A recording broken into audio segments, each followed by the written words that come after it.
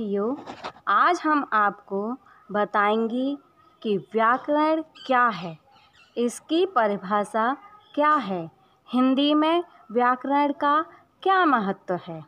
व्याकरण, परिभाषा, व्याकरण वह विद्या है, वह कला है, जिसके माध्यम से किसी भाषा को शुद्ध रूप में बोलते, लिखते एवं समझते हैं, व्याकरण कहते हैं। अब यहाँ इस परिभाषा को समझ लीजिए।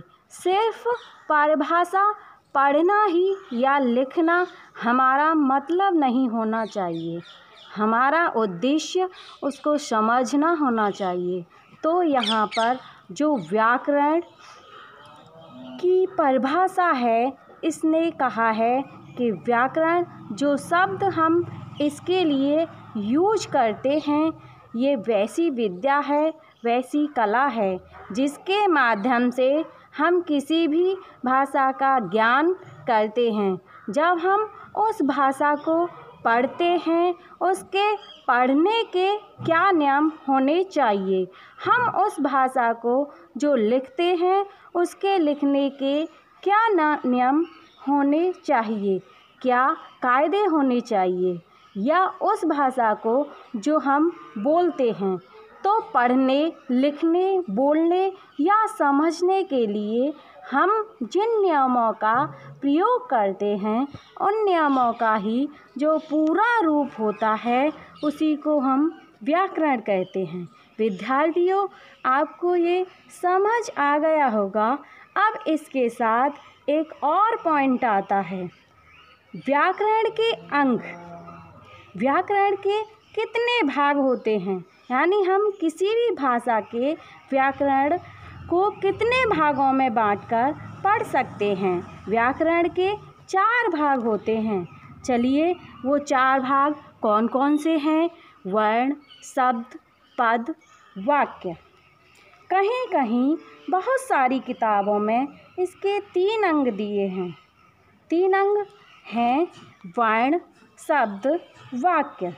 ध्यान रखिएगा, यहाँ व, यहाँ पर वर्ण शब्द जो ये दोनों हैं, ये हैं तो एक ही चीज़ है। इसके लिए वर्ण ध्वनि। ध्वनि वर्ण का मौखिक रूप है।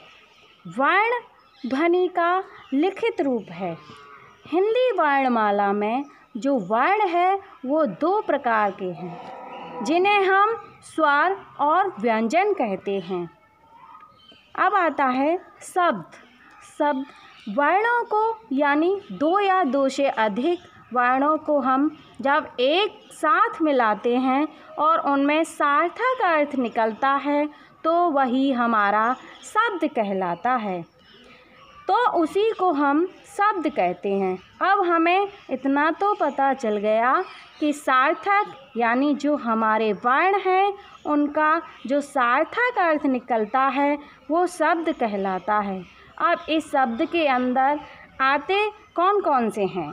जब हम शब्द के भेद पढ़ते हैं तो आते हैं इतिहास के आधार पर, स्रोत के आधार पर, जिसमें हम पढ़ते हैं, देशर शब्द विदेशर शब्द, तत्सम शब्द, तद्भव शब्द, संकर शब्द। फिर हमारा दूसरा आता है रचना या बनावट के आधार पर। अब हम पढ़ते हैं, वे तीन प्रकार के हो जाते हैं, जिसमें हमारा आता है रूढ़ शब्द, यौगिक शब्द और योग रूढ़ शब्द। फिर हमारा तीसरा आता है अर्थ के आधार पर। जो शब्द में ही है। तो अर्थ के आधार पर जैसे पर्यायवाची समानार्थक शब्द, इसके बाद आता है विपरीतार्थक शब्द, विपरीत अर्थ रखने वाले शब्द। इसके बाद अनेकार्थक शब्द या वैसे शब्द जिनका अर्थ अनेक हो।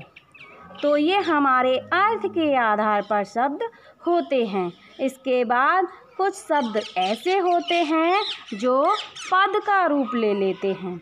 अब तीसरा इसको समझते हैं। ये पद शब्द ही होते हैं।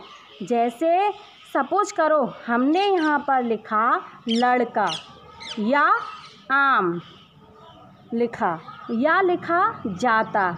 इस तरह से हमने तीन चार शब्द ले लिए। अब हम इनको सिंगल सिंगल देखते हैं। तो ये शब्द कहलाते हैं। लेकिन अगर हम इन शब्दों को एक जगह प्रयोग करें, वह वाक्य बन जाते हैं।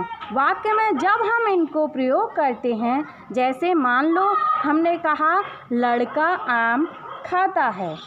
हमने वाक्य प्रयोग किया है और इस वाक्य प्रयोग करने के बाद यहाँ पर जो हमारा लड़का शब्द आया है, अब ये शब्द न रहकर क्या कहलाता है? पद कहलाता है। यानी अब इस शब्द को एक पदवी मिल गई है। अब ये पदवी कौन सी है? इसको यह पदवी है संज्ञा की। तो हम इसको संज्ञा कह सकते हैं। वाक्य में ये कर्ता के स्थान पर प्रयोग हो रहा है।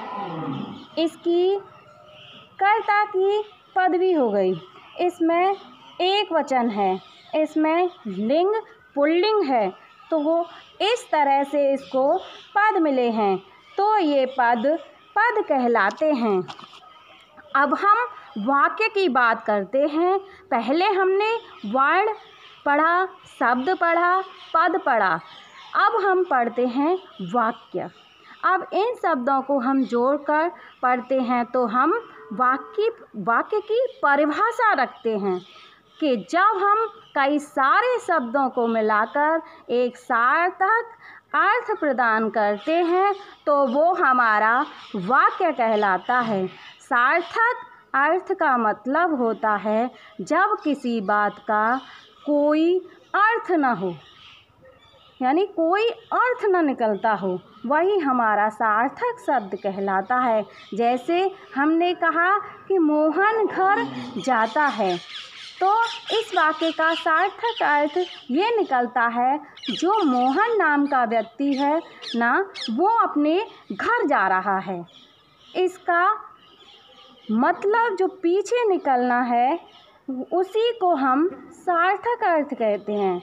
तो जब हम दो या दो से अधिक सार्थक शब्दों को जोड़कर एक साथ लिखते हैं और उनका कोई सार्थक अर्थ निकलता है या पूर्ण भाव आता है, उसी को हम वाक्य कहते हैं। वाक्य भाषा की सबसे बड़ी इकाई है। एक प्रश्न हमारा ये बन जाता है कि वाक्य भाषा की कौन सी इकाई है? तो वाक्य भाषा की सबसे बड़ी इकाई है। धन्यवाद।